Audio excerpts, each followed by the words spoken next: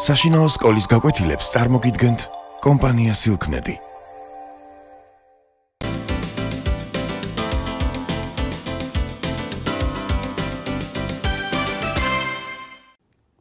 მოგესალმებით. დღევანდელი ჩვენი გაკვეთილის თემა იქნება ქართული კულტურა მე-16-მე-17 საუკუნეებში. მონღოლთა ასწლიანმა ბატონობამ მნიშვნელოვნად შეაფერხა ქართული კულტურის განვითარება. მართალია მონღოლთა ბატონობის გადავარნის შემდეგ ერთგვარი კულტურული გამოცოცხლებას აქვს ქვეყანაში ადგილი, რაც აისახა კიდეც გიორგი ბრწყინვალეს მოღვაწეობის ეპოქაში და მის შემდგომ დროინდელ საქართველოში, თუმცა თემურლენგის შემოსევებმა მკვეთრად დასცა ქვეყნის როგორც სოციალ-ეკონომიკური განვითარება, ასევე კულტურული აღმასვლა და წინსვლა. მე-15 საუკუნეში პრინციპში საქართველოში ნაკლებად იქმნება მაღალმხატვრული ღირებული კულტურული ნიმუშები.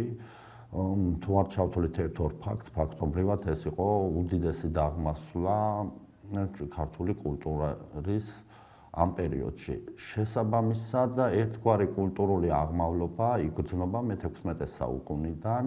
მართალია ეს პერიოდიც ძალზე მძიმე იყო ქართული ხალხისთვის რადგანაც მუდმივად უხდებოდა როგორც ქართლის სამეფოს ასევე დასავლეთ საქართველოს სამეფოს სამთავროებს მტრის მოგერიება მაგრამ მაინც შეინიშნება კულტურული წინსვლა.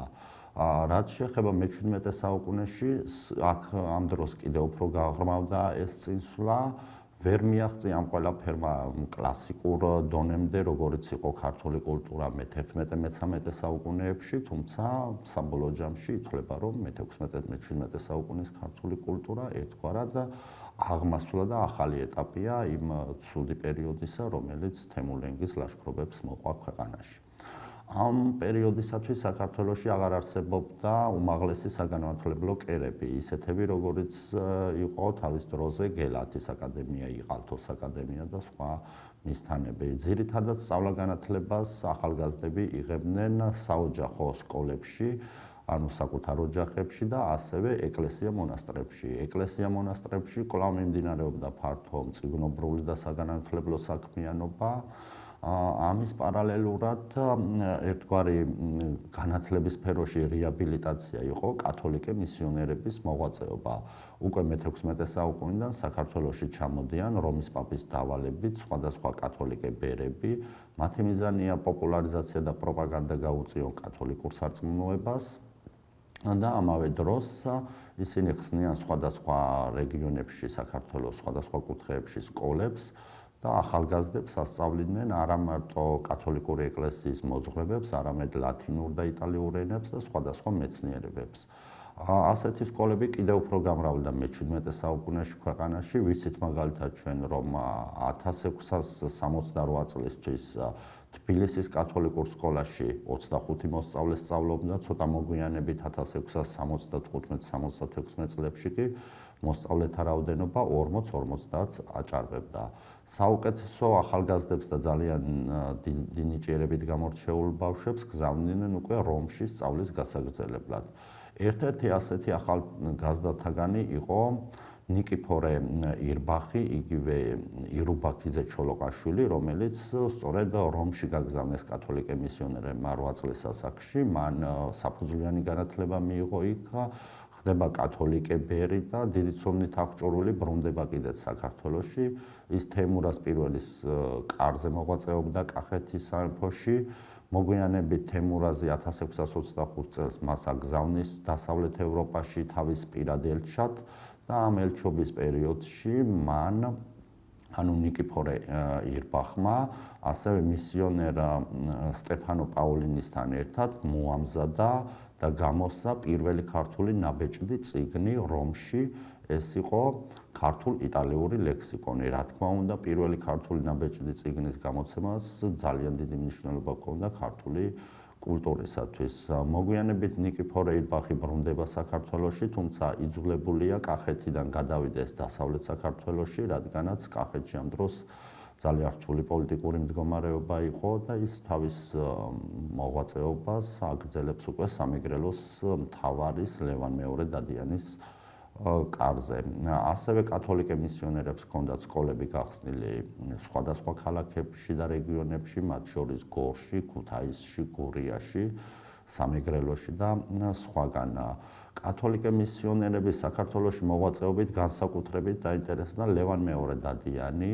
მან როსტომ ხანს სთხოვა და შემდეგ უკვე თავად კათოლიკე მისიონერებს დაუკავშირდა, რომ ქართლიდან რამდენიმე მათგანი წასულიყო სამეგრელოში, მართლაც დამკვიდრდნენ სამეგრელოში მისიონერები, მათ შორის იყო არქანჯელო ლამბერტი, ასევე კასტელი და სხვა მისიონერები, რომელიც საქართველოში მოღვაწეობდნენ. საყურადღებოა, რომ კასტელმა დაგვიტოვა ძალიან მდიდარი ისტორიული მასალა და ჩანაწერები, რომელიც საქართველოს შესახებ ძალიან ბევრ ნიშნულოვან და ყოფიერებისთვის დამახასიათებელ სურათს გვაძლევს. ამავე დროს კასტელმა შეადგინა ალბომი, ანუ ჩანახატები, ჩანახატები ეხება როგორც ქართველ ფეოდალურ საზოგადოებას, მაგალითად კი გიორგისა კაძეს თემურაზ პირველს ლევან მეორე დადიანს და სხვას, ასევე ყოფიერების რეალური სცენებია დახატული, მაგალითად გლეხის საცხოვრებელი კარმი და მისიონერების რეზიდენცია. აა ბაზრები ეკლესიის გარშემო მოწყობილი, რომელიც ყოველკვირეულად იმართებოდა გლეხთა ნადიმი და ასე შემდეგ. ასე რომ კათოლიკე მისიონერების მოღვაწეობა ძალიან დიდი კვალი დატოვა ქართულ კულტურაში და ერთგვარად უწყობდა ხელს როგორც განათლების, ასევე სხვა სფეროებში კულტურულ აღმავლობას. ამ პერიოდში, ანუ მე-16, მე-17 საუკუნეებში ერთგვარ აღმავლობას განიცდის ქართული პოეზია. ძალიან პოპულარული იყო რა თქმა უნდა კლასიკური ეპოქის დიდი ნაწარმოები ვეფხისტყაოსანი და უამრავი ვეფხისტყაოსნის გაგრძელების ფაქტთან გვაქვს საქმე, ანუ იწერებოდა ვეფხისტყაოსნის გაგრძელებები მე-16-მე-17 საუკუნეებში. ამასთან ერთად მნიშვნელოვანი პოეტები იყვნენ მე-17 საუკუნეში თემურას პირველი, არჩილი და სხვები. თემურას პირველმა მართალია ძალიან დიდი გავლენა განიცა და სპარსული კულტურისა, თუმცა იგი იყო პირველი, რომელმაც დაამკვიდრა ისტორიულ ეროვნული მოტივი პოეზიაში. მისი საუკეთესო ნაწარმოებად უნდა ჩაითვალოს წამება ქეთევან დედოფლისა საკუთარი დედის თავგადასავალის პოეტურად გადმოცემა. ამავე დროს მოღვაწეობდა იოსებ თბილელი მე-17 საუკუნეში, რომელმაც დაწერა დიდმოურავიანი, სადაც გიორგი სააკაძის ცხოვრება იყო ასახული, მეფე არჩილმა დაწერა შემდეგი სათაურით თავისი პოემა გაბაასება გაბაასება რუსთაველისა და თემურაზისა, სადაც თემურაზ პირველის თავგადასავალია მოთხრობილი. გარდა ქართული ორიგინალური ნაწარმოებებისა, ასევე გავრცელდა თარგმ თარგმნა სპარსულიდან ძირითადად ამ დროს ჩვენ ხვდებით პროზაულ და პოეტურ გალექსილ ნათარგმ მასალას ძირითადად სპარსულიდან ეს არის ქილილა და დამანა და სხვა ხალხში გავრცელებული აღმოსავლური პოეზიის ნიმუშები. რა თქმა უნდა, ხუროთმოძღვრება ჩამორჩებოდა კლასიკური პერიოდის, ანუ მე-11-მე-13 საუკუნეების ხუროთმოძღვრებას, თუმცა ეპოქის შესაბამისი ძეგლები ამ პერიოდშიც იქმნებოდა. მათგან დიდი ნაწილი მე-15-მე-16 საუკუნეში აიგო კახეთის სამეფოში. ჩვენ ვიცით, რომ კახეთის სამეფო ამ პერიოდში განიცდის მშვიდობიან ცხოვრებას. ძლიერი ცენტრალური ხელისუფლება ზრუნავს საერო და სასულიერო შენობების აგებაზე, თუმცა სამწუხაროდ შაჰაბასის შემოსევებმა მათი დიდი უმრავლესობა გაანადგურა. ამის მიუხედავად დღემდე შემორჩენილია ისეთი მნიშვნელოვანი ძეგლები, როგორიც არის გრემი, როგორიც არის ნინოწმინდის სამრეკლო და სხვა. აღმოსავლეთ საქართველოსშიც შეიქმნა რამდენიმე მნიშვნელოვანი ძეგლი, მათ შორის თბილისში ანჩის ხატის სამრეკლო, ასევე როსტომის სასახლე, როსტომ მეფის რეზიდენცია თბილისში, რომელმაც თავის სახით, რა თქმა უნდა, ვეღარ მოაღწია ჩვენ პერიოდამდე. ქართლში იქმნება სხვადასხვა ხუროთმოძღვრული ძეგლები, მათ შორის ჭადიჯურის ეკლესია, ასევე ანანურის ანსამბლი, რომელიც სწორედ მე-16-მე-17 საუკუნეებში შექმნილი და ერთგვარ მაღალშტაბეჭდილებასაც ტოვებს მნახველზე ეს არქიტექტურული ძეგლი.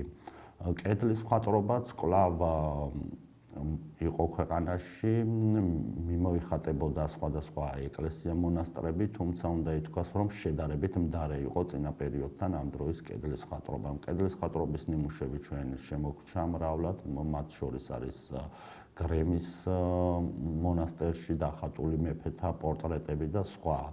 ამავე დროს ძალიან პოპულარული გახდა საერო ნაწარმოებების დასურათება, მათ შორის გამოსარჩევია მამუკა თავაქარაშვილი, რომელიც მოღვაწეობდა ლევან მეორე დადიანის კარზე.